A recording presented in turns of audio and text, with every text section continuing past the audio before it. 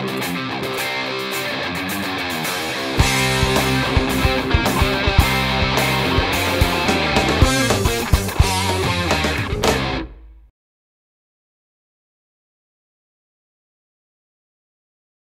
guys and welcome to this episode of Quite Frankly. Now this time I have a very small tip about tripods.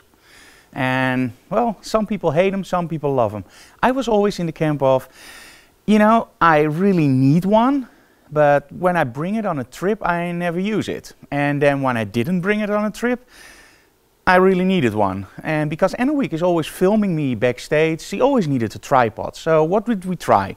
we tried some very cheap tripods. We got some tripods and they were all nice, but they were one, heavy, or they had a lot of what you call creep that they changed a little bit and they were not stable. So when we did cityscapes, you always saw a little blurry in the image.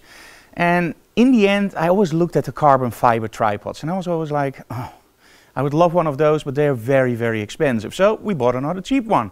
And probably you're in the same boat as I am you get disappointed by your tripod, so you never bring them anymore and you don't use them anymore, right? So in the end, I finally said, you know what, we're gonna get a carbon tripod. And this is the Benro we choose. It's a carbon fiber tripod. You can also use it as a monopod. Uh, you can change the feet for spikes. And I have to be honest with you guys. The tip for today is don't buy a lot of the cheap tripods or the heavy ones.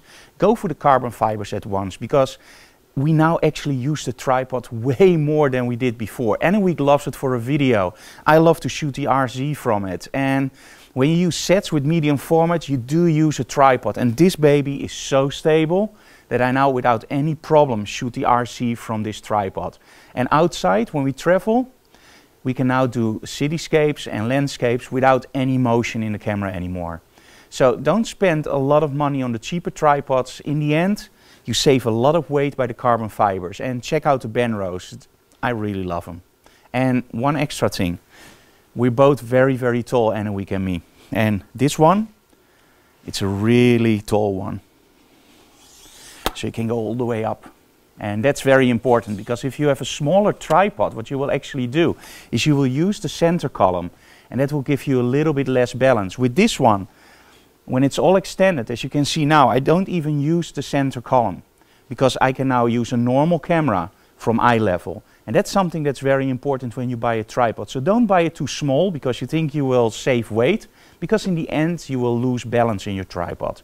So make sure you get a tall one that fits your body size. And then, well, go for the carbon fiber at once. It will save you a lot of money.